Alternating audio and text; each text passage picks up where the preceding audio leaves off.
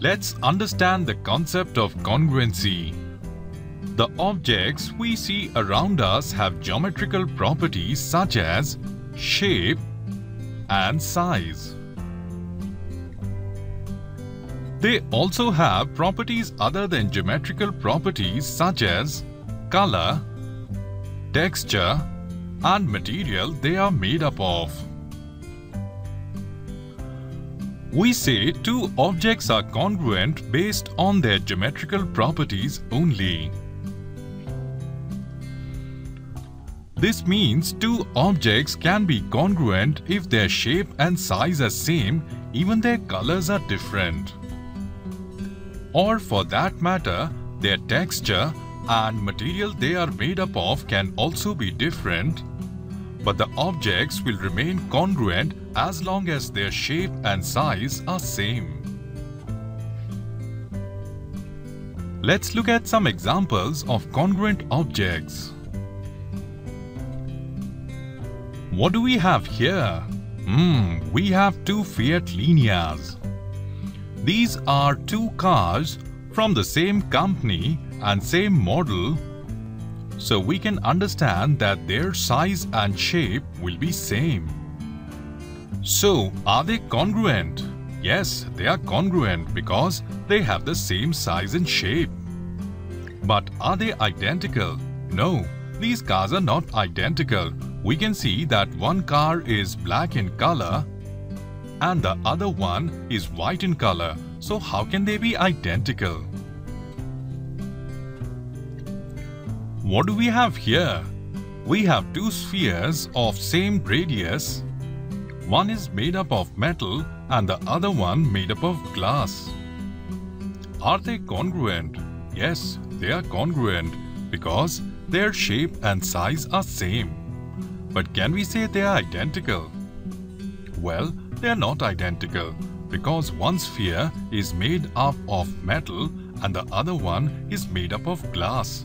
Their materials are different, so how can they be identical? Let's consider some pairs of cylinders and let's see how they look when they are placed in front of one another. Here we have two cylinders of different sizes. That means they have the same height but different radius. Radius of this cylinder is lesser than radius of this cylinder, let's see how they look when cylinder of lesser radius is kept in front of the cylinder with larger radius.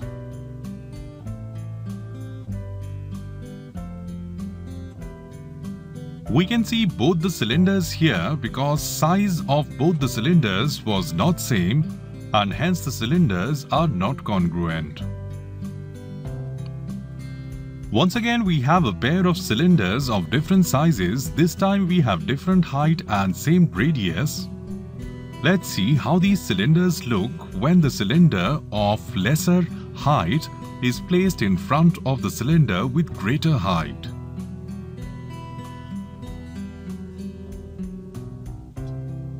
Once again we can see both the cylinders as size of the cylinders was not same and hence the cylinders are not congruent. Now we have two cylinders whose sizes are same that means they have the same height and same radius. Let's see how they look when one cylinder is placed in front of the other. This is the case when we had considered the cylinders of same shape and size that means same height and same radius so the cylinders are congruent and that is why when one cylinder is placed in front of the other, we see them as one. Now let's see all the three cases together.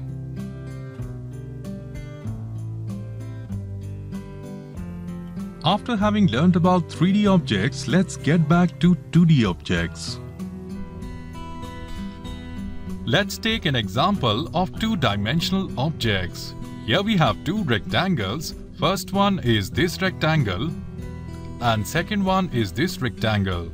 Both the rectangles have same length and breadth. Question is, are they congruent? So for congruency, they should have the same shape and size. Because both are rectangles, that means they have the same shape. And because their length and breadth are same, that means they have the same size also. So they have the same shape and same size, that is why these two rectangles are congruent. But why don't they look congruent? Because we have placed one rectangle horizontally and the other one vertically. Why don't they cover each other? If we separate the two rectangles like this and then rotate this one to arrange them like this and now if we place one rectangle over the other, they will appear as one.